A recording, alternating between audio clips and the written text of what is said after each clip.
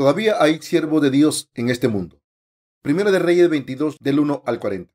Tres años pasaron sin guerra entre los sirios e Israel. Y aconteció el tercer año que Josafat, rey de Judá, descendió el rey de Israel. Y el rey de Israel dijo a sus siervos, ¿no sabéis que Ramón de Galaad es nuestra y nosotros no hemos hecho nada para tomarla de mano del rey de Siria? Y dijo a Josafat, ¿quiere venir conmigo a pelear contra Ramón de Galaad? Y Josafat respondió al rey de Israel, Yo soy como tú, y mi pueblo como tu pueblo, y mis caballos como tus caballos. Dijo luego Josafat al rey de Israel, Yo te ruego que consultes hoy la palabra de Jehová. Entonces el rey de Israel reunió a los profetas, como cuatrocientos hombres, a los cuales dijo, ¿Iré a la guerra contra Ramón de Galaad o la dejaré? Y ellos dijeron, Sube, porque Jehová la entregará en mano del rey. Y dijo Josafat, ¿Hay aún aquí algún profeta de Jehová por el cual consultemos? El rey de Israel respondió a Josafat, aún hay un varón por el cual podríamos consultar a Jehová. Micaías, hijo de Ingla, mas yo le aborrezco, porque nunca me profetiza bien, sino solamente mal. Y Josafat dijo, no hable el rey así. Entonces el rey de Israel llamó a un oficial y le dijo, trae pronto a Micaías, hijo de Ingla. Y el rey de Israel y Josafat, rey de Judá, estaban sentados cada uno en su silla, vestidos de sus ropas reales, en la plaza junto a la entrada de la puerta de Samaria. Y todos los profetas profetizaban delante de ellos, y Sedequías, hijo de Kenana, se había hecho unos cuernos de hierro, y dijo, Así ha dicho Jehová, con estos acornearás a los sirios hasta acabarlos. Y todos los profetas profetizaban de la misma manera, diciendo, Sube a Ramot de Galaad y serás prosperado, porque Jehová la entregará en mano del rey. Y el mensajero que había ido a llamar a Micaías le habló diciendo, He aquí que las palabras de los profetas a una voz anuncian al rey cosas buenas. Sean ahora tu palabra conforme a la palabra de alguno de ellos.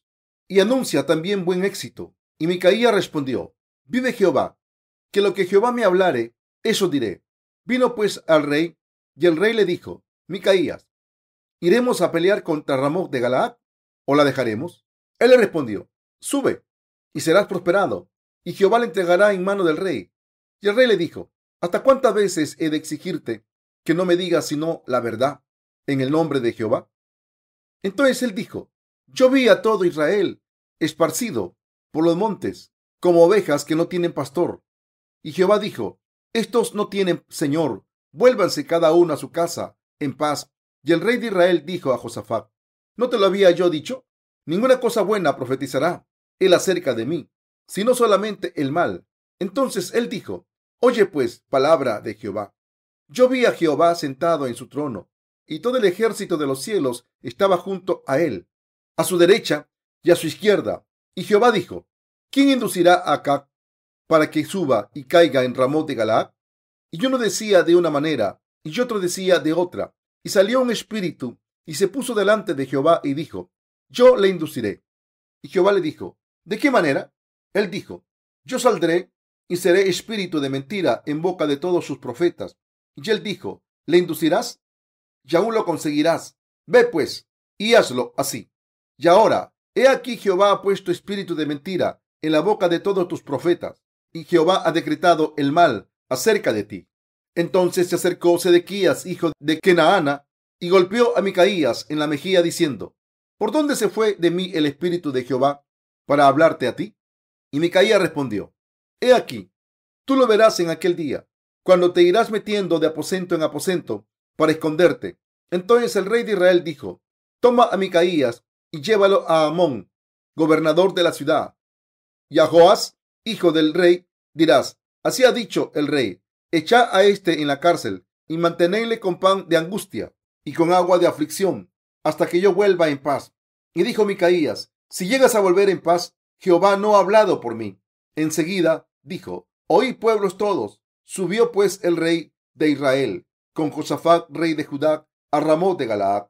Y el rey de Israel dijo a Josafat, yo me disfrazaré y entraré en la batalla, y tú ponte tus vestidos. Y el rey de Israel se disfrazó y entró en la batalla. Mas el rey de Siria había mandado a sus treinta y dos capitanes de los carros, diciendo, no peleéis ni con grande ni con chico, sino solo contra el rey de Israel. Cuando los capitanes de los carros vieron a Josafat, dijeron, ciertamente este es el rey de Israel, y vinieron contra él para pelear con él. Mas el rey Josafat gritó, viendo entonces los capitanes de los carros que no era el rey de Israel, se apartaron de él. Y un hombre disparó su arco a la aventura e hirió al rey de Israel por entre las junturas de la armadura, por lo que dijo él a su cochero, da la vuelta y sácame del campo, pues estoy herido. Pero la batalla había arreciado aquel día y el rey estuvo en su carro delante de los sirios y a la tarde murió. Y la sangre de la herida corría por el fondo del carro y a la puesta del sol salió un pregón por el campamento diciendo, cada uno a su ciudad y cada cual a su tierra. Murió pues el rey y fue traído a Samaria y sepultaron al rey en Samaria y lavaron el carro en el estanque de Samaria y los perros lamieron su sangre y también las rameras se lavaban allí. Conforme a la palabra que Jehová había hablado, el resto de los hechos de Acab y todo lo que hizo y la casa de marfil que construyó y todas las ciudades que edificó, no está escrito en el libro de las crónicas de los reyes de Israel. Y durmió acá con sus padres y reinó en su lugar Ocosías, su hijo. El pasaje de las escrituras de hoy, de Primera de Reyes 22 del 1 al 40, describe la muerte del rey Acab. Este pasaje nos dice que el rey Acab fue asesinado porque ignoró a los siervos de Dios. Acab era el rey de Israel, del reino del norte, mientras que Josafat era el rey de Judá. Estos dos reyes unieron sus fuerzas para atacar a Siria, pero en el transcurso de la batalla, el rey Acab recibió un disparo, tal como Micaías había profetizado. La voluntad del Señor Dios Acab fue derrotado. La voluntad del Señor Dios Acab fue derrotado y murió en el campo de batalla. Como sabemos muy bien, después de que el rey Jeroboam estableciese el reino del norte de Israel, acabó sustituyendo al Dios de la verdad por becerros de oro para consolidar su reinado y conseguir sus ambiciones carnales. Provocó la ira de Dios al nombrar a gente corriente para el sacerdocio y para ofrecer sacrificios a los becerros de oro y se convirtió en un hereje al cambiar el día de la expiación de fecha. Como el pueblo de Israel siguió a Jeroboam a ciegas, practicó el mal y fue juzgado por Dios por sus pecados tan terribles. Como siguieron los pecados de Jeroboam, el Dios de la verdad se enfadó con el pueblo de Israel y sus reyes. Entonces, Dios decidió juzgar a los que siguieron a Jeroboam, tanto física como espiritualmente. Sin embargo, hubo muchos reyes en Israel que siguieron los pecados de Jeroboam, así que, para que se arrepintiesen, Dios les hizo sufrir. El rey Acab fue a la guerra. Aunque Israel luchaba contra Siria frecuentemente durante tres años antes de la muerte de Acab, no hubo ninguna guerra. Normalmente, estos conflictos siempre empezaban con ataques de Siria que invadía Israel, pero cada vez que Israel se encontraba en esta situación, Dios enviaba a sus siervos para rescatar al pueblo de Israel y resolver todos sus problemas. Sin embargo, esta vez fue el rey Acab quien comenzó la guerra contra Siria. Esto se llevó a cabo porque Dios lo permitió. La situación de esta guerra es la siguiente. Durante algún tiempo, Josafat, el rey de Judá, y Acá, el rey de Israel, habían querido recuperar Ramoc de Galaad, una ciudad que había sido conquistada por Siria. Acá, el rey del norte de Israel, le dijo a Josafat, el rey de Judá, ¿no era Ramoc de Galaad nuestro territorio? Tenemos que hacer algo. Entonces el rey Josafat se puso de acuerdo con el rey Acá y lucharon contra Siria. Aquí podemos ver que ambos reyes se estaban comportando de una manera irracional. Como el rey Jeroboam y el pueblo de Israel habían adorado a becerros de oro como sus dioses ante el Señor, fueron condenados por Dios. En contraste, en el reino del sur de Judá había cumplido el sistema de sacrificio de Dios y sus estatutos hasta entonces, y su pueblo también. En otras palabras, al contrario que los reyes de Israel, ningún rey de Judá había sustituido a Dios por becerros de oro, y por tanto Judá y su pueblo seguían siendo amados por Dios. Sin embargo, el rey Josafat de Judá ahora estaba colaborando con el rey del norte de Israel, a pesar del pecado abominable que estaba cometiendo ante Dios, y esta fue una gran ofensa. El reino del norte todavía estaba adorando a becerros de oro, a los que Dios aborrecía, y había olvidado su ley al permitir que hombres que no eran de la familia de Leví fueran sacerdotes. El que el pueblo de Israel sustituyese al Señor Dios por becerros de oro y creyera en ellos fue un pecado mortal que merecía el castigo de Dios. Estos pecados se originaron con el matrimonio del rey Salomón con mujeres extranjeras. Por culpa de estas mujeres gentiles que entraron en Israel, el rey Salomón y el pueblo de Israel quedaron expuestos a multitud de ídolos. Por culpa de este pecado cometido por el rey Salomón, Dios dividió a la nación de Israel en dos. Entonces Jeroboam se convirtió en el primer rey del norte de Israel, pero al igual que Salomón, cometió los mismos pecados ante Dios. Lo peor es que los reyes del norte de Israel y su pueblo no se dieron cuenta de que estaban cometiendo estos pecados tan graves. Por tanto, no pudieron arrepentirse de estos pecados y volver a Dios. Por otra parte, el rey Josafat del reino de Judá sabía muy bien que el pueblo del reino de Israel estaba siguiendo los pecados de Jeroboam, pero a pesar de esto, mantuvo una relación con el reino del norte y por eso el reino del sur se empezó a parecer al reino del norte en sus pecados, aunque es difícil para los seres humanos colaborar en buenas obras. Cuando se trata de pecar, hay una tendencia a unirse y parecerse. Sin embargo, todavía había siervos de Dios en Israel. Estos siervos conocían los pecados de su nación y por eso llamaron a la gente al arrepentimiento. Siempre estuvieron del lado de Dios y reprendían a la gente por sus pecados. Sin embargo, como la fe de los reyes de ambos reinos era idéntica, el rey de Judá se unió al rey de Israel enseguida para luchar contra Siria. Pero Josafat, el rey de Judá, no creyó en los becerros de oro y antes de ir a la guerra, le sugirió al rey Acab que buscase el consejo de los siervos de Dios y les preguntase cuál era su voluntad. Así que los dos reyes llamaron a los siervos de Dios para buscar su consejo. ¿Comunicaron los siervos de Dios su voluntad? En aquel entonces había unos 400 profetas en el reino de Israel. Antes de ir al campo de batalla, el rey Acá les preguntó a estos 400 profetas cuál era la voluntad de Dios. Entonces, un profeta llamado Sedequías hizo unos cuernos de hierro y dijo que los reyes ganarían la guerra profetizando. Con estos acornearás a los sirios hasta acabarlos. Primera de Reyes 22:11. Los demás 400 profetas dijeron lo mismo que Sedequías. Como sus profecías eran iguales, parecía que no hacía falta consultar la voluntad de Dios más. Sin embargo, el rey Josafat de Judá le preguntó al rey Acab, ¿no hay otro profeta en este reino al que podamos preguntar? El rey acá dijo, si hay un hombre más. ¿Quién es este hombre? Es un profeta llamado Micaías, pero nunca ha profetizado nada bueno sobre mí, así que no vale la pena preguntarle. Pero aún así, Josafá presionó a Acab para que llamase al profeta Micaías y le preguntase sobre la voluntad del Señor Dios. El rey Acá envió a uno de sus hombres, a Micaías. Cuando el mensajero se encontró con el profeta Micaías, le dijo, cuatrocientos profetas han profetizado que el rey ganaría la guerra. Así que, por favor, profetiza lo mismo. Pero Micaías dijo, no puedo hacer esto ante el Señor Dios. Profetizaré exactamente lo que el Señor me diga. Cuando el profeta Micaías se presentó ante el rey Acab, dijo, sube y serás prosperado, y Jehová la entregará en mano del rey. Pero estas palabras no eran sinceras. Así que el rey le pidió a Micaías que le dijese la verdad. No me mientas, Dime la voluntad del Señor Dios. Dinos la verdad. Dinos si el Señor ha dicho que ganaremos esta batalla. ¿Cuántas veces tengo que pedirte que me digas la voluntad del Señor? El profeta Micaías entonces profetizó la voluntad de Dios diciendo, yo vi a todo Israel esparcido por los montes como ovejas que no tienen pastor. Y Jehová dijo, esto no tienen Señor, vuélvanse cada uno a su casa en paz. En otras palabras, Micaías estaba diciendo que el rey moriría en la batalla si iba a la guerra. Cuando pasamos a Primera de Reyes 22 del 19 al 23, vemos a Micaía diciendo lo siguiente: Oye pues palabra de Jehová.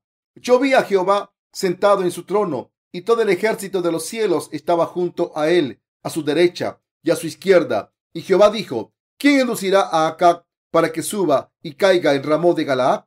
Y yo lo decía de una manera y yo otro decía de otra. Y salió un espíritu y se puso delante de Jehová y dijo, yo le induciré. Y Jehová le dijo, ¿de qué manera? Él dijo, yo saldré y seré espíritu de mentira en boca de todos sus profetas. Y él dijo, le inducirás y aún lo conseguirás. Ve pues y hazlo así. Y ahora, he aquí Jehová ha puesto espíritu de mentira en la boca de todos tus profetas, y Jehová ha decretado el mal acerca de ti. Con estas palabras, el profeta Micaías les dijo la voluntad de Dios a Acab y a Josafat. El profeta Micaías había visto a Dios sentado en su trono celestial, rodeado de todos los ejércitos del cielo. En esta visión escuchó al Señor Dios decir, ¿quién inducirá a Acab para que suba y caiga en Ramot de Galaad? Entonces Micaías vio que uno de los espíritus que servía a Dios se ponía delante de él y decía, yo seré un espíritu mentiroso en la boca de los profetas de Acab. Yo induciré al rey Acab a codiciar Ramot de Galaad para que vaya a la guerra y muera en la batalla. El profeta Micaías le hizo saber a Acab la voluntad de Dios. Le explicó cómo los espíritus en el cielo habían consultado ante la presencia del Señor Dios y le contó su voluntad al rey Acab. Le dijo al rey Acab, si vas a esta guerra, no volverás con vida. Todos esos 400 profetas de Israel han mentido porque un espíritu de Dios ha mentido a través de sus bocas. Entonces Ezequías, el representante de los 400 profetas de Israel, se enfrentó a Micaías y le dio una bofetada diciendo, indignado, ¿cuándo me ha abandonado a mí el Señor Dios para ir a hablar contigo? Hay muchos falsos profetas como este Sedequías entre los líderes cristianos de hoy en día que se han convertido en herejes. Micaías dijo, verás el día que vayas a tu habitación a esconderte, verás si mis palabras se han cumplido o no. Llegará el día en que te esconderás y verás cómo se cumplen mis palabras. El rey Acab estaba muy furioso cuando escuchó esto, se enfadó porque al contrario que los cuatrocientos profetas de Israel que habían profetizado buenas cosas para el rey, el profeta Micaías estaba profetizando cosas malas. Hay un mensaje importante aquí que debemos entender del mismo modo en que los cuatrocientos falsos profetas del pasaje de las escrituras de hoy aprobaron el plan de guerra del rey Acab. Todos los líderes cristianos de hoy en día dicen que podemos ser salvados al creer en la sangre derramada en la cruz. Sin embargo, si creen como ellos enseñan, acabarán estando en contra del Evangelio del agua y el Espíritu y serán arrojados al infierno. Solo hay una verdad de salvación que Dios le ha dado a la humanidad y este es el Evangelio del agua y el Espíritu. La Biblia deja claro que no es solo a través de la sangre derramada en la cruz que Dios ha traído la salvación a la humanidad, porque nos ha dado la salvación a través del Evangelio del agua y el Espíritu. Primera de Juan 5, del 7 al 8.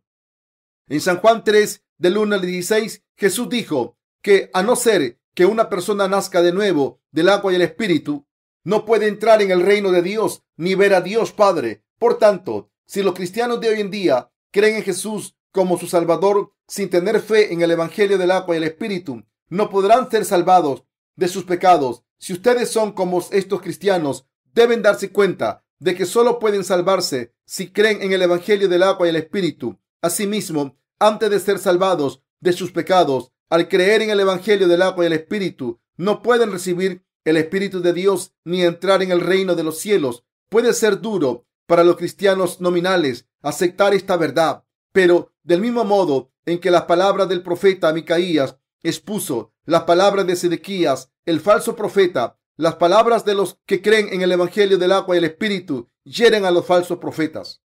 Dios dijo que aunque está dispuesto a entregar su misericordia infinita a pesar de su ira, no va a ignorar los pecados de los que creen en un evangelio diferente al evangelio del agua y el espíritu. Muchos cristianos de hoy en día, en especial los evangélicos, dicen que han recibido la remisión de los pecados en sus corazones al creer en el evangelio de la sangre derramada en la cruz, en vez de creer en el evangelio del agua y el espíritu. Pero, ¿de verdad no tienen pecados en sus corazones? No, por supuesto que no. Dios juzga precisamente a los que afirman esto. Esto se debe a que si alguien cree que solamente la sangre derramada en la cruz constituye su salvación, esto significa que sus pecados siguen intactos en su corazón y que no conoce el Evangelio del agua y el Espíritu. La verdadera voluntad de Dios para todo el mundo no es recibir la remisión de los pecados al creer en el Evangelio de la cruz, sino en el Evangelio del agua y el Espíritu. Dios nos ha dado la fe en su bautismo a través de que Jesucristo cargó con nuestros pecados y su sangre en la cruz. Esta verdad se encuentra íntegramente en el Evangelio del agua y el Espíritu. En esta era hay muchas personas que dicen haber sido salvadas del pecado al creer solamente en la sangre de la cruz Sin embargo, el verdadero evangelio es el evangelio del agua y el espíritu que el Señor nos ha dado a toda la humanidad para siempre. El evangelio del agua y el espíritu no nos enseña a creer únicamente en la sangre de la cruz. El Señor nos está diciendo que nos ha salvado de los pecados del mundo a través del evangelio del agua y el espíritu. Jesús nos está pidiendo que creamos en el bautismo que recibió de Juan el Bautista y en la sangre que derramó en la cruz. Dios es el Salvador que, a pesar de su ira hacia los pecadores, nos ha dado el Evangelio del agua y el Espíritu. Así que, en el caso del rey Acab, Dios también quería que dejase de adorar a becerros de oro y así poder salvar su alma, guiar al pueblo de Israel correctamente y volver a Dios para vivir en su presencia. En otras palabras, para llevar al rey de Israel y a su pueblo por el camino de la vida, Dios siguió ofreciéndoles oportunidades para arrepentirse a través del profeta Micaías. Pero el rey Acab no aceptó la palabra de Dios profetizada por el profeta Micaías. Por el contrario, se levantó contra las palabras del verdadero profeta. Entonces ya no había sitio para acomodar la palabra de Dios en su corazón. Como el rey Acab estaba interesado únicamente en servir a los becerros de oro y mantener su fama y su poder, no escuchó las palabras del profeta Micaías, el siervo del Señor Dios, y ordenó que lo encarcelaran. A pesar de haber rechazado el aviso de Micaías, el rey Acab estaba nervioso, así que fue al campo de batalla disfrazado de soldado. Le dijo al rey Josafat, creo que deberías ir al campo de batalla con tus ropas reales y yo iré vestido de soldado. Antes de ir a la batalla, el rey de Siria, el enemigo de Israel, había ordenado a sus oficiales que matasen solo al rey Acab de Israel. Así que los oficiales de Siria fueron a buscar al rey Acab en el campo de batalla y entonces vieron a alguien subido en un carro. Pensaron que este era Acab y entonces se lanzaron contra él, pero en realidad este hombre era Josafat. Cuando éste vio que los carros sirios le perseguían, corrió para salvar su vida. Entonces los soldados sirios pensaron que era el rey Acab y probablemente gritaron, ahí está el rey Acab, matadlo. Josafat se dio la vuelta y vio que lo estaban alcanzando. Entonces gritó, no soy el rey Acab, soy Josafat. Los soldados sirios estaban concentrados en la persecución, pero cuando se acercaron a él y se dieron cuenta de que no era Acab, se dieron la vuelta.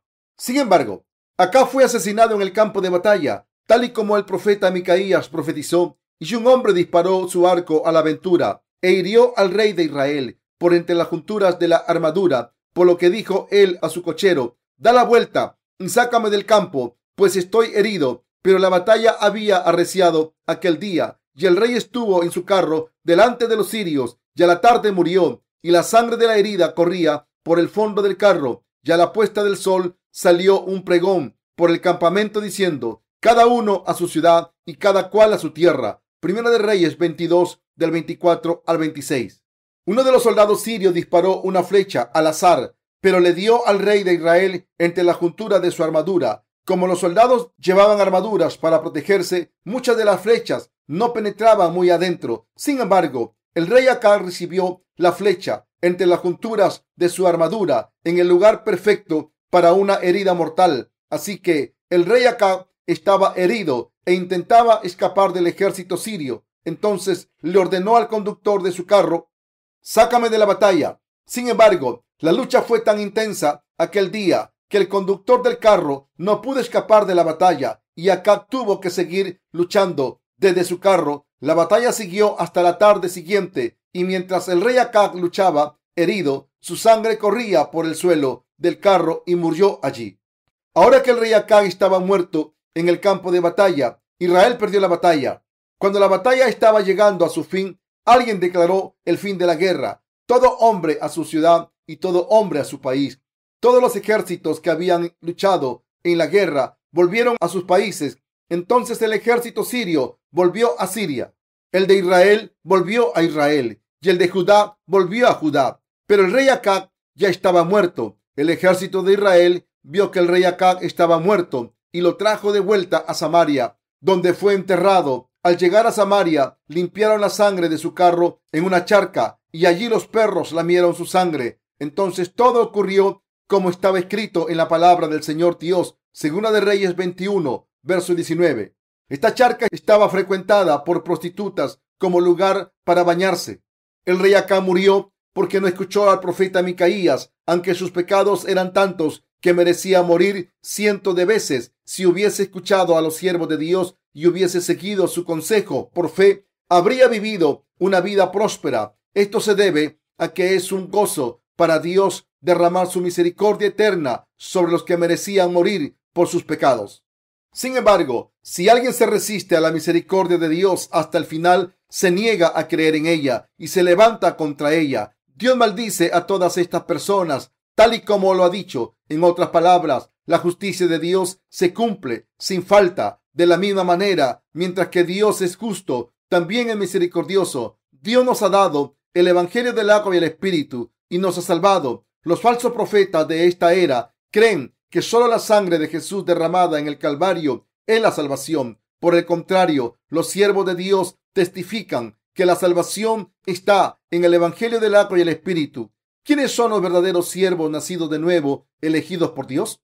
En otras palabras, ¿quiénes son los verdaderos siervos de Dios como Micaías y quiénes son los falsos profetas como Sedequías? Los verdaderos siervos de Dios son los que creen en el Evangelio del agua y el Espíritu, y los falsos profetas son los que solo dan testimonio de la sangre derramada en la cruz. Espero que se den cuenta de esta verdad y encuentren la gracia de la salvación de Dios al poner su fe en el Evangelio del agua y el Espíritu. Aunque los pecados que cometió el rey Acab contra Dios eran más que suficientes para justificar su muerte. La causa directa de su muerte fue el no creer en la palabra de Dios predicada por el profeta Micaías y el ignorar la voluntad de Dios. Si acá hubiese escuchado al profeta Micaías y se hubiera dado cuenta de que Dios le iba a matar, se habría arrepentido y dicho, Señor, he pecado contra ti. Si hubiese admitido que era incorrecto seguir los pecados de Jeroboam y hubiese pedido a Dios que fuese misericordioso, Dios le habría perdonado. Pero a pesar de esto, aunque Dios le comunicó su voluntad a Acab a través del profeta Micaías, acá siguió ignorando el aviso de Micaías. Por eso tuvo que morir física y espiritualmente. Incluso en las comunidades cristianas actuales, la palabra de Dios está siendo ignorada y solo las falsas enseñanzas prosperan. Probablemente sabrán cuántos cristianos hay en el mundo. Sin embargo, la mayoría está siguiendo los pecados de Jeroboam mientras dicen servir a Jesucristo. Aunque adoran a Dios en el nombre de Jesucristo y llaman a Dios su Padre, en realidad solo quieren bendiciones materiales de Dios, salud física y poder y fama en el mundo. A pesar de creer en Jesús, llaman el nombre de Dios Padre y alabarle y adorarle. Solo quieren bendiciones materiales. La fe materialista de estas personas está dirigida a una religión llamada cristianismo. No es la verdadera fe en el Evangelio del agua y el Espíritu ante la presencia de Dios. Como no pueden librarse de las creencias materialistas que prevalecen en la fe cristiana, muchos cristianos mueren engañados por estos falsos profetas. Su único interés en creer en Jesús es conseguir bendiciones mundanas, mientras que no tienen ningún interés en ser salvados de sus pecados al creer en el Evangelio del agua y el Espíritu que el Señor nos ha dado. Pero todos creen en Jesús como su Salvador por el bien de su carne. Invocan, tercera de Juan 1.2, constantemente, amado, yo deseo que tú seas prosperado en todas las cosas y que tengas salud, así como prospera tu alma. Defienden la doctrina de las tres bendiciones como su regla. En otras palabras, adoran a Dios solo porque desean conseguir bendiciones materiales como salud, riqueza, fama y poder. Los cristianos con este tipo de creencia están adorando a una versión moderna de los becerros de oro para acabar en el infierno sin darse cuenta de que están siguiendo los pecados de Jeroboam. Por supuesto que es cierto que el Señor nos dijo, amado, yo deseo que tú seas prosperado en todas las cosas y que tengas salud, así como prospera tu alma. Tercera de Juan 1.2. Pero el hecho de que el Señor quiere que nuestras almas prosperen ante Dios significa que debemos ser salvados de nuestros pecados al creer en el Evangelio del agua y el Espíritu.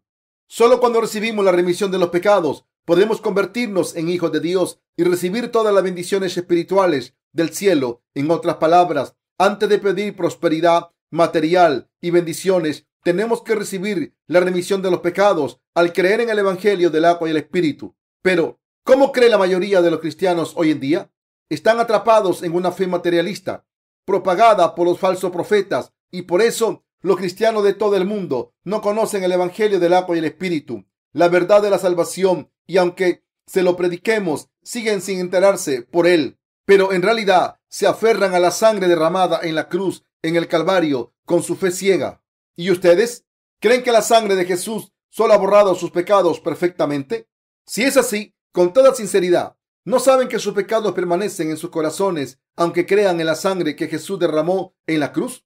Entre los ministros de las comunidades cristianas que creen solo en la sangre derramada en la cruz, hay muchos predicadores famosos. Sin embargo, como esos predicadores no conocen el Evangelio del agua y el Espíritu, puede decir con toda confianza que no han nacido de nuevo, así que nunca pueden salvar a sus congregaciones con sus pecados al predicar el Evangelio del agua y el Espíritu.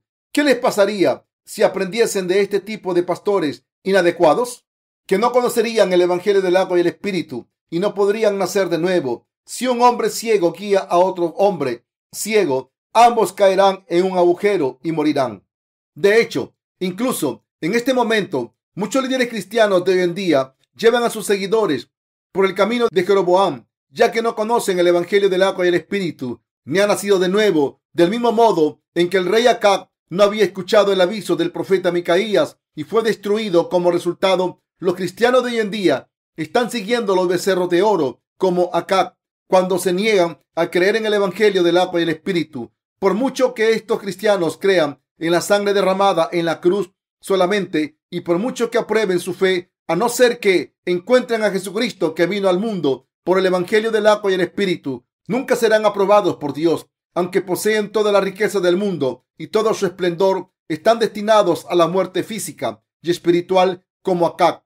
Como no quieren conocer el Evangelio del agua y el Espíritu, se levantan contra Dios en su estado de pecadores y pagan la condena de sus pecados. Si por otro lado quieren recibir la remisión de los pecados de Dios y vivir por fe, deben buscar a los siervos de Dios que predican la palabra del Evangelio del agua y el Espíritu, como el profeta Micaías.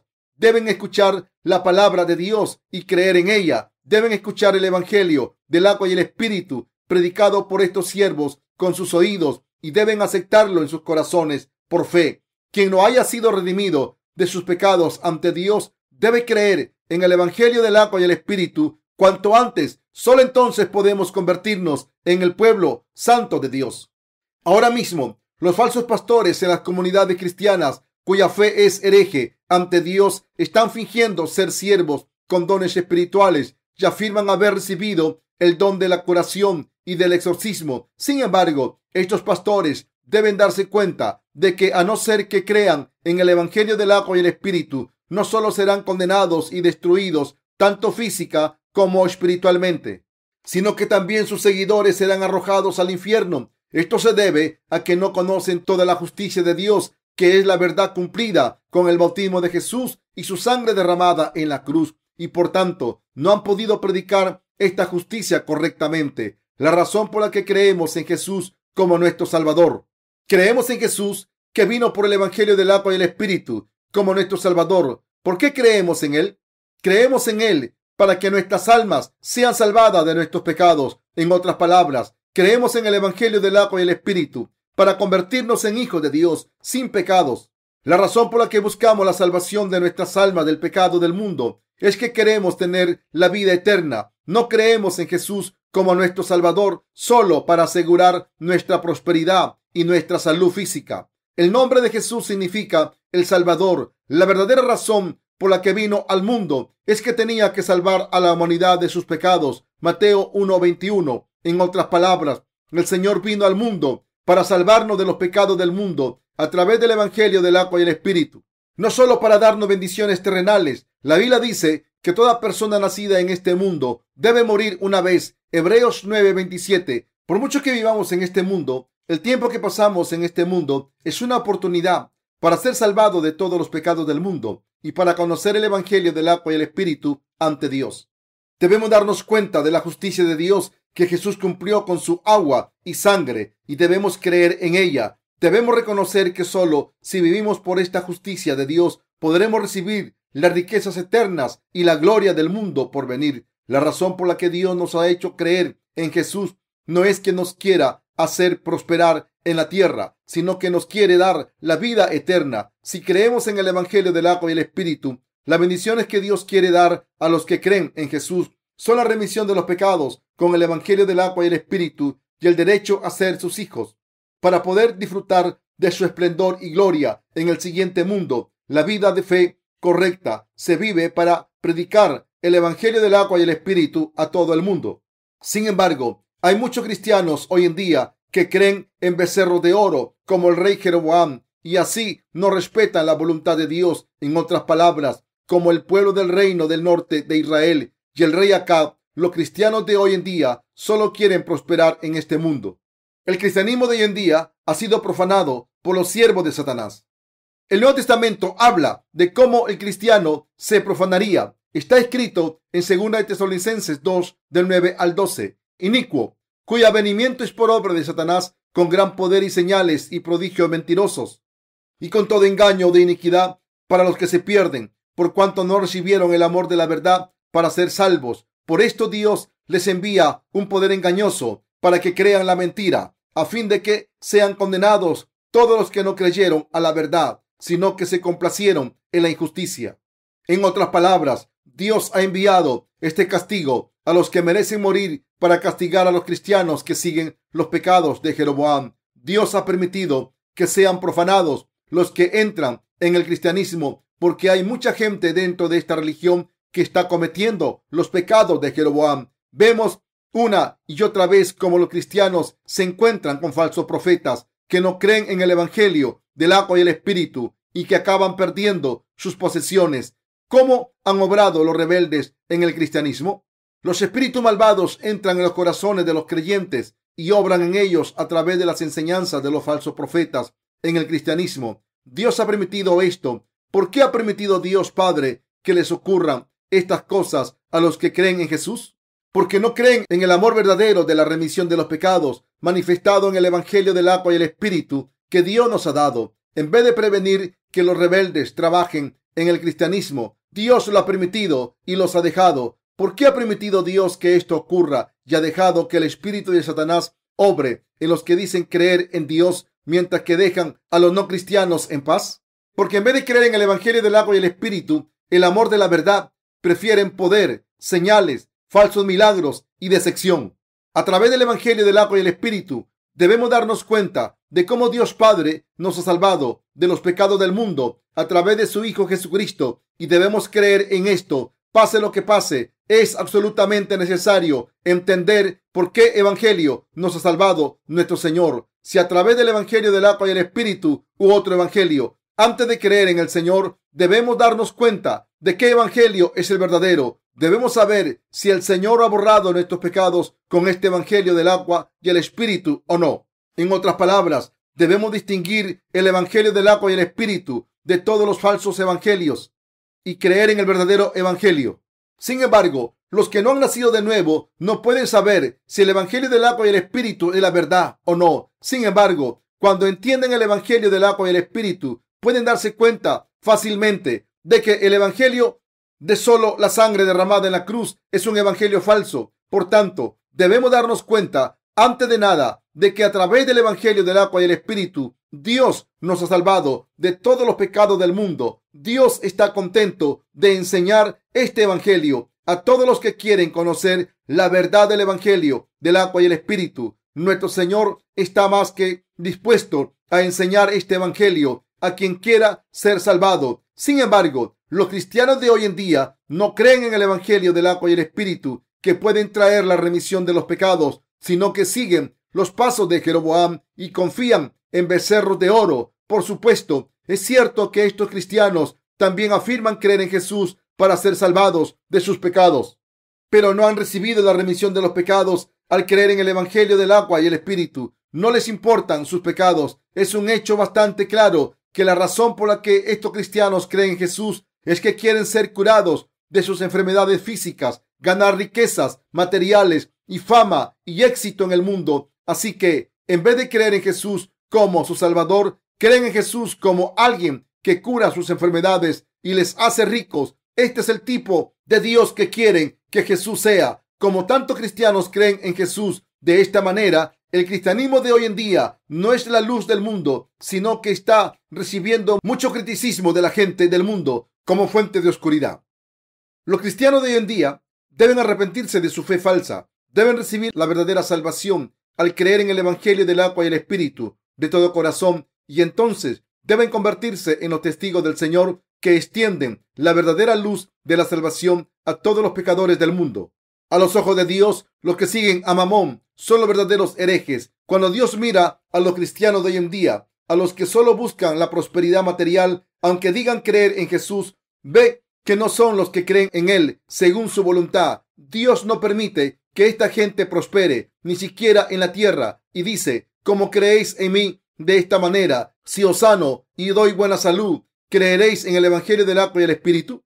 Aunque Dios cure a estos idólatras de sus enfermedades físicas, no creen en el Evangelio del agua y el Espíritu, sino que querrán ser más ricos y más felices y solo querrán satisfacer los deseos de la carne. Así que, al final, sus estómagos serán sus dioses y sus corazones estarán llenos de becerros de oro. Por eso Dios le reprende diciendo, ¿cuándo me temisteis? Si de verdad me teméis, primero debéis creer en el Evangelio del agua y el Espíritu que os he dado. Debéis ser salvados de sus pecados por fe. Solo entonces podréis libraros de mis maldiciones que recibiréis por adorar a becerros de oro como Jeroboam. La fe de los cristianos de hoy en día está equivocada a los ojos de Dios. La voluntad de Dios es salvarnos de los pecados del mundo a través del Evangelio, del agua y el Espíritu y hacernos hijos suyos para que podamos vivir por su justicia en este mundo, a pesar del hecho de que la voluntad de Dios es hacernos prosperar en el reino eterno en vez de prosperar en el mundo. Los cristianos siguen pidiéndole prosperidad en el mundo y salud física.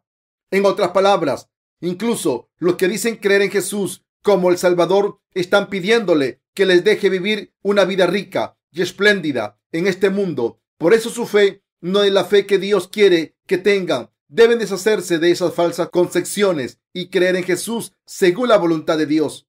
Dicho de una manera simple, cuando Dios mira la fe de los cristianos de hoy en día, ve que estos cristianos no creen en su justicia. La Biblia dice, pues la voluntad de Dios es vuestra santificación, que os apartéis de fornicación. Primera de Tesalonicenses 4:3. Dios detestó a Salomón cuando adoró a ídolos y como no podía tolerar este pecado, dividió el reino de Salomón en dos como castigo para que los israelitas se arrepintieran. Pero a pesar de esto, en vez de arrepentirse, el pueblo de Israel pensó que el castigo de Dios no estaba justificado y por eso siguió pecando para retarle. Para ello, sustituyeron a Dios por becerros de oro, corrompieron el sacerdocio establecido por Dios y cambiaron el día de la expiación establecido por él. En resumen, lo cambiaron todo. Al final se separaron de Dios y cometieron la ofensa de levantarse contra su justicia. Así que Dios no pudo tolerar sus pecados.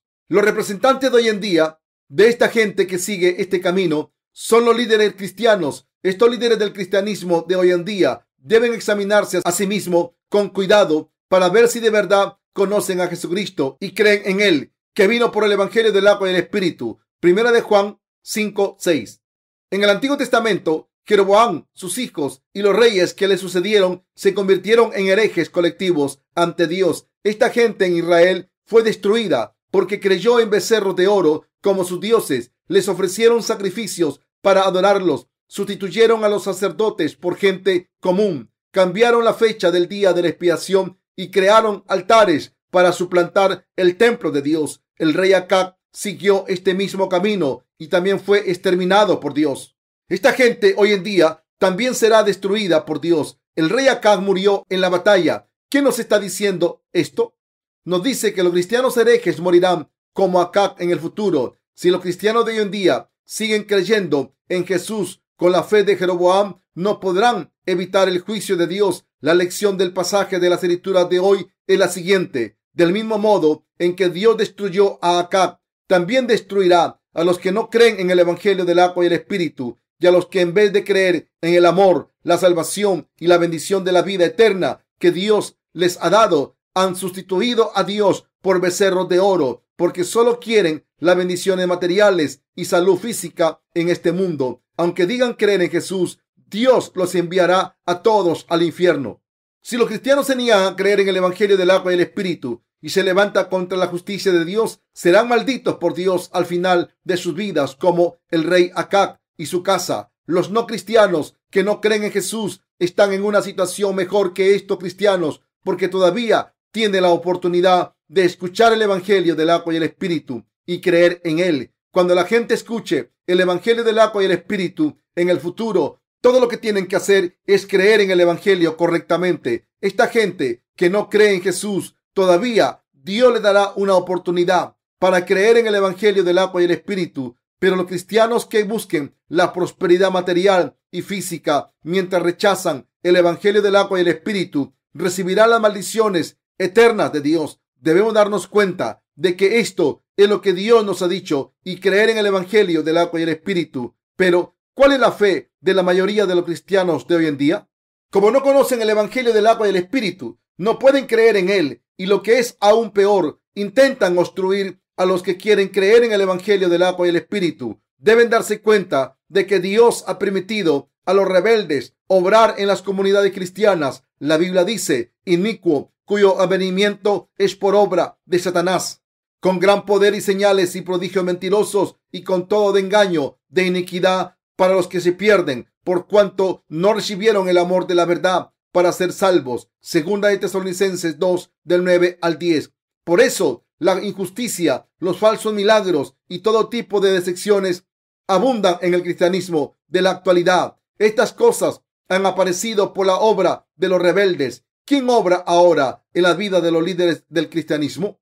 Los espíritus malvados. Como resultado, estas obras son señales falsas y de secciones están floreciendo en las comunidades cristianas de hoy en día. Estos falsos profetas mienten a las personas diciendo que han recibido el Espíritu Santo, aunque tienen pecados en sus corazones, y también predican lo siguiente, si creen en Jesús, serán curados de sus enfermedades físicas y estarán sanos, tendrán éxito en este mundo y serán los primeros en vez de los últimos. Sus negocios prosperarán y ustedes prosperarán.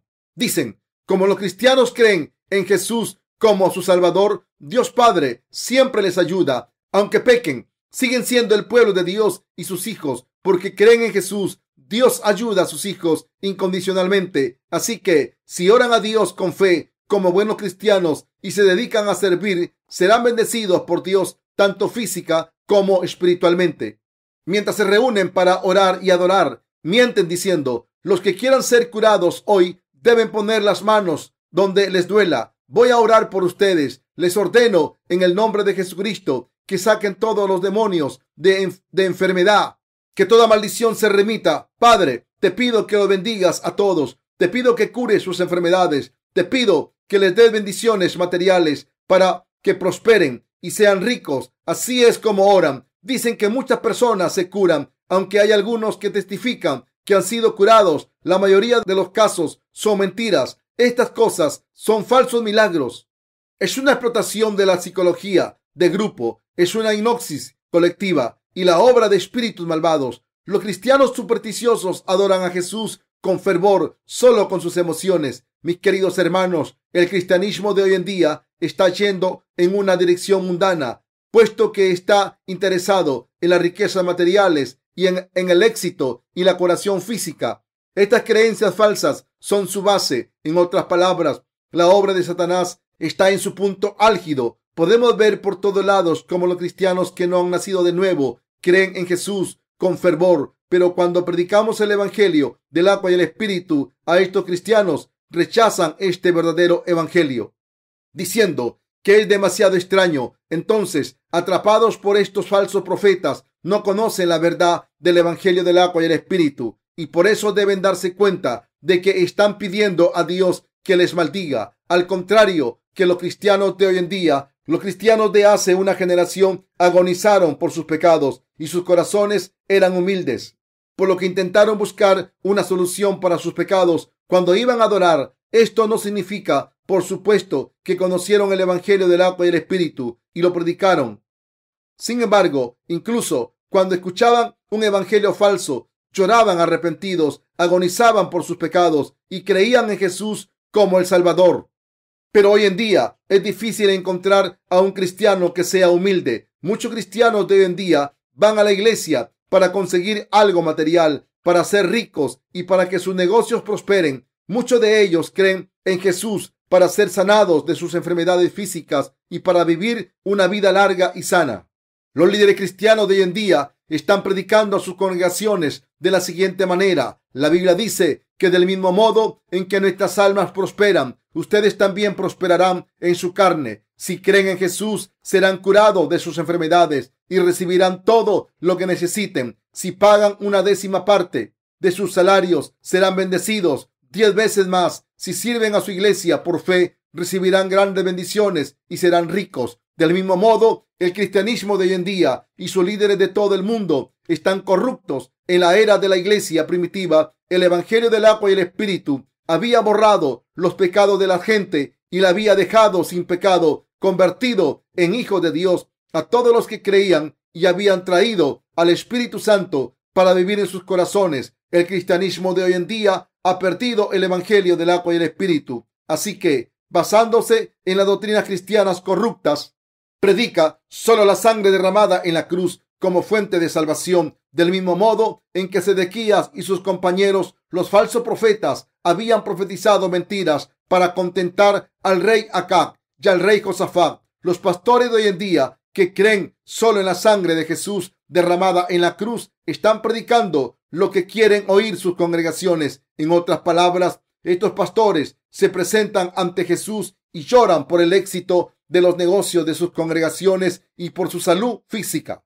Por supuesto, antes, aunque los que creen en Jesús de verdad como su Salvador siguen estando en la carne y por eso a veces deben orar por la carne. Sin embargo, el Señor nos ha dicho, buscad primero el reino y su justicia y lo demás se os dará por añadidura. Antes de nada, debemos ser redimidos de nuestros pecados al creer en el Evangelio del agua y el Espíritu.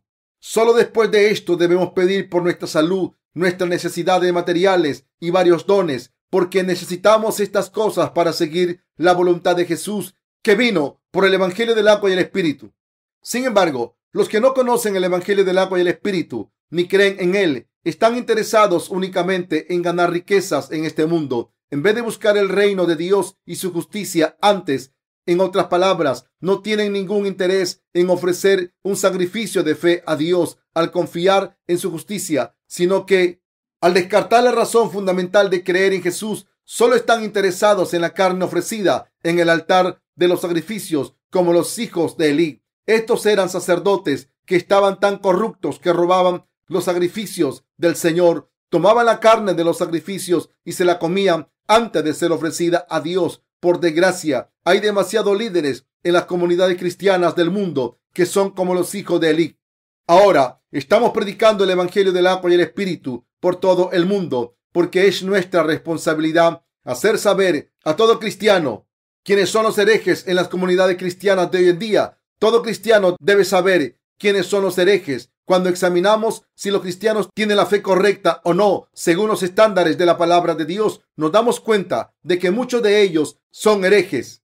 ¿Quiénes debe decir que son herejes? Esto es responsabilidad de los siervos de Dios que creen en el Evangelio del agua y el Espíritu. Es su deber decirles a estos cristianos que han caído en la herejía. Estos cristianos están atrapados en la herejía y deben darse cuenta de que son herejes. Los cristianos de hoy en día Suelen acusarse los unos a los otros de herejía. En realidad, no saben quién es un hereje según la Biblia, porque nadie puede dar una definición correcta de lo que es una herejía, ya que esto solo se puede decir cuando se entiende el Evangelio del agua y el Espíritu. La Biblia dice que un hereje es una persona que se ha condenado a sí misma, aunque diga creer en Jesús. Tito 3:10. Llamamos a Dios nuestro Padre porque hemos limpiado los pecados de nuestros corazones al creer en el Evangelio del agua y el Espíritu. Por el contrario, muchos cristianos que han rechazado el Evangelio del agua y el Espíritu hacen su confesión de fe al decir que la sangre de Jesús ha borrado sus pecados. Sin embargo, sus pecados siguen en sus corazones y por tanto es inevitable que confiesen por sí mismos, soy un pecador. La Biblia llama a estas personas herejes. Les hago esta pregunta a los cristianos de hoy en día. ¿De verdad ha borrado el Señor sus pecados mediante la sangre derramada en la cruz únicamente? Los pecados se borran no solo al creer en la sangre de Jesús únicamente, sino al creer en el Evangelio del agua y el Espíritu, que proclama que el Señor ha borrado nuestros pecados con el bautismo que recibió de Juan el Bautista y la sangre que derramó en la cruz. Cuando Jesús fue bautizado por Juan el Bautista, cargó con todos los pecados para siempre. Con el agua de su bautismo, el Señor limpió nuestros pecados. Así que los cristianos que no creen en el Evangelio del agua y el Espíritu siguen pecando y están condenados. Hoy en día, los que creen solo en la sangre derramada en la cruz se han separado de la verdad, de la salvación, el Evangelio del agua y el Espíritu que el Señor nos ha dado, aunque afirman que han borrado sus pecados mediante la sangre derramada en la cruz sus corazones se están pudriendo. En resumen, se han convertido en leprosos espirituales. Los que no creen en el Evangelio del agua y el Espíritu no pueden evitar confesar que no han podido borrar sus pecados con la sangre de la cruz únicamente. Sin embargo, como Dios Padre ha completado la salvación a través de Jesucristo con el Evangelio del agua y el Espíritu, quien crea en este Evangelio de verdad puede librarse de sus pecados. A pesar de esto, muchas personas en las comunidades cristianas están rechazando el Evangelio del agua y el Espíritu por culpa de su ignorancia. Esta es la razón por la que están condenados a sí mismos. En otras palabras, los que rechazan que Dios nos ha salvado de nuestros pecados a través del Evangelio del agua y el Espíritu son los herejes que están pecando contra Dios por no creer en el Evangelio del agua y el Espíritu. Estos son los herejes a los ojos de Dios. ¿Cómo borró Jesucristo nuestros pecados cuando vino al mundo? Jesucristo el Hijo de Dios vino al mundo encarnado en un hombre. Cuando cumplió los 30 años, cumplió toda la justicia de Dios al ser bautizado por Juan el Bautista, diciéndole, permíteme hacer ahora, porque conviene así que cumplamos toda justicia. Mateo 3:15. Al hacer que su hijo fuese bautizado por Juan el Bautista, dejar que fuese crucificado y hacer que resucitase de entre los muertos, Dios Padre cumplió toda su justicia para perdonar todos los pecados del mundo. Jesús cargó con los pecados al ser bautizado en el río Jordán. Entonces fue crucificado y derramó su sangre hasta morir y al levantarse de entre los muertos de nuevo se ha convertido en nuestro Salvador. La mayoría de los cristianos no conoce el Evangelio del agua y el Espíritu que Dios nos ha dado y por eso lo están rechazando. Dicen que están sin pecados al creer solo en la sangre derramada en la cruz pero esta creencia no es correcta. Durante casi dos mil años hasta este momento, muchos cristianos que han dicho creer en Jesús solo han creído en la sangre derramada en la cruz, pero siempre han seguido siendo pecadores. Pero los cristianos siempre nos preguntan, ¿qué hay de malo en creer solo en la sangre derramada en la cruz? Dicen, ¿están diciendo que millones de personas que creen en Jesús irán al infierno? Así que tengo cuidado de no dejar que mis emociones controlen mis palabras y dejo que mis palabras se basen en mi fe, en la palabra del Evangelio del agua y el Espíritu. Puedo decir con toda confianza que estos cristianos se han convertido en herejes porque sus pecados permanecen en sus corazones, aunque digan creer en Jesús. Incluso se dice que Lutero oraba todas las mañanas de la siguiente manera, Señor, no me lleves a la tentación y borra mis pecados. Esto es una prueba de que Lutero no conocía el Evangelio del agua y el Espíritu. Los que creen solo en la sangre derramada en la cruz, en vez del Evangelio del agua y el Espíritu, siguen siendo pecadores, porque sus corazones tienen siempre pecados. Por el contrario, los que creen en el Evangelio del agua y el Espíritu pueden ser salvados de sus pecados, por muy insuficientes que seamos, si de verdad creemos en la verdad de que el Señor ha borrado nuestros pecados con el Evangelio del agua y el Espíritu, podemos ser salvados de nuestros pecados. Los corazones de los que creen en esta verdad están sin pecados gracias al Evangelio del agua y el Espíritu. Como creyentes en el Evangelio del agua y el Espíritu, no tenemos ningún pecado en nuestros corazones. Como el Señor ha borrado todos, todos nuestros pecados con el Evangelio del agua y el Espíritu, los que creen en Él están sin pecado para siempre. En otras palabras, nuestros pecados no se borran por creer solamente en la sangre de Jesús derramada en la cruz ni ofreciendo oraciones de penitencia. El Señor nos ha salvado a los que creemos en el Evangelio del agua y el Espíritu, al tomar nuestros pecados sobre sí mismo a través de su bautismo y al pagar la condena de estos pecados en la cruz, a no ser que limpiemos nuestros corazones con el bautismo de Jesús y su sangre que constituyen el Evangelio del agua y el Espíritu. Estos pecados nunca serán limpiados. Jesucristo vino por el Evangelio del agua, la sangre y el Espíritu. Primera de Juan 5 del 6 al 8.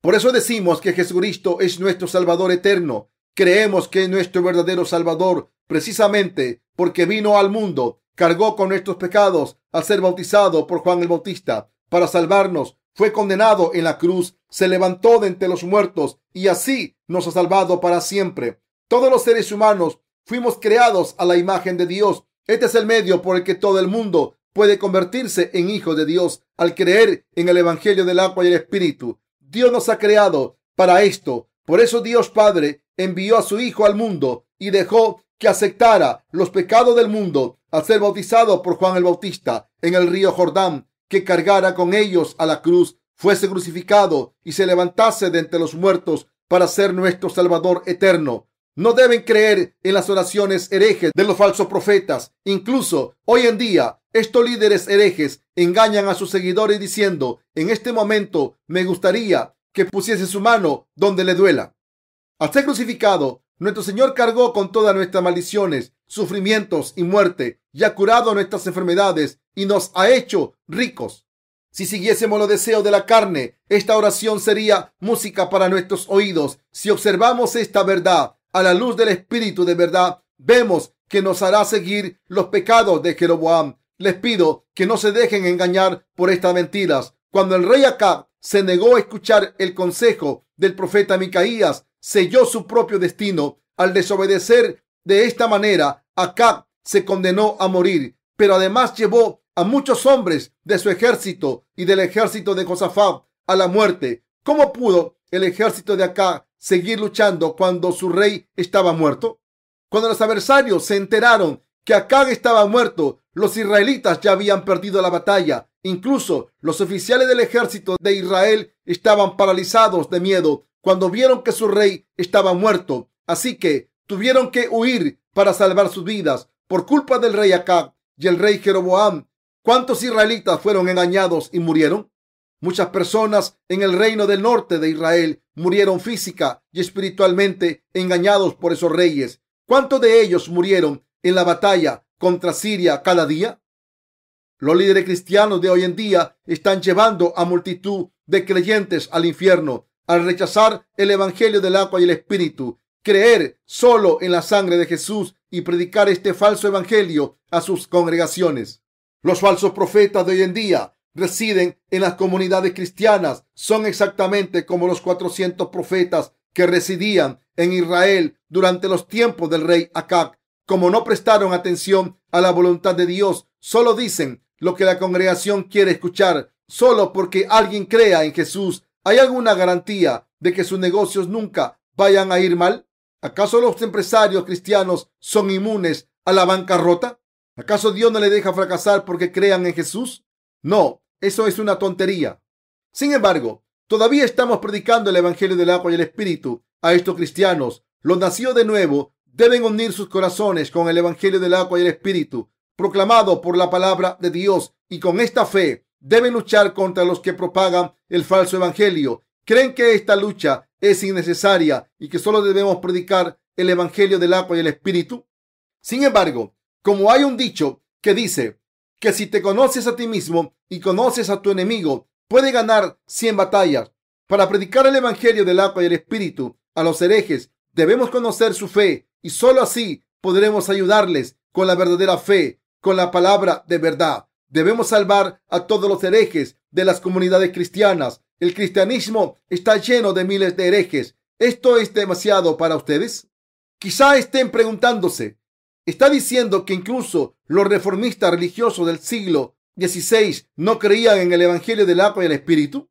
La respuesta es sí. Estas personas no empezaron el movimiento de la reforma desde el Evangelio del agua y el Espíritu. Entonces se preguntarán de nuevo, ¿significa esto que solo los que creen en el Evangelio del agua y el Espíritu son creyentes ortodoxos? De nuevo la respuesta es sí. Las personas sin pecado que creen en la verdad del Evangelio del agua y el Espíritu son los únicos que han sido salvados por Jesús. Nuestra única tarea es predicar el Evangelio del agua y el Espíritu a todo el mundo. Entonces, los que creen, creen, y los que no creen podrán ser salvados en las tribulaciones si creen en el Evangelio del agua y el Espíritu. Si la gente cree en el Evangelio del agua y el Espíritu, recibirá las bendiciones de Dios. Pero si no cree en este Evangelio, será arrojada al infierno. Debemos enseñar a los cristianos el Evangelio del agua y el Espíritu correctamente. Debemos entender quiénes son los herejes en las comunidades cristianas y debemos enseñarles esto. Por eso estoy tratando el problema de la herejía en el cristianismo de todo el mundo. Incluso ahora mismo, muchos líderes de las comunidades cristianas están llevando a sus congregaciones al infierno.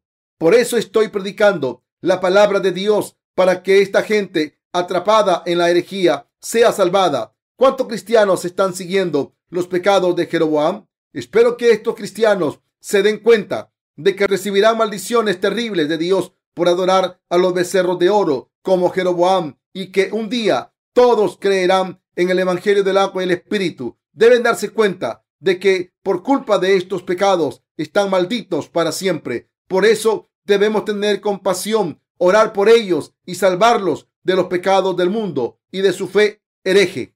No debemos dejar pasar su ignorancia, sino que debemos tener compasión por ellos, orar a Dios para que los salve y predicarles por fe el Evangelio del agua y el Espíritu, la verdad de la salvación eterna. Espero que Dios nos permita cumplir toda esta obra que nos ha confiado y entonces podremos presentarnos ante Él, Dios de verdad, como sus siervos buenos y fieles.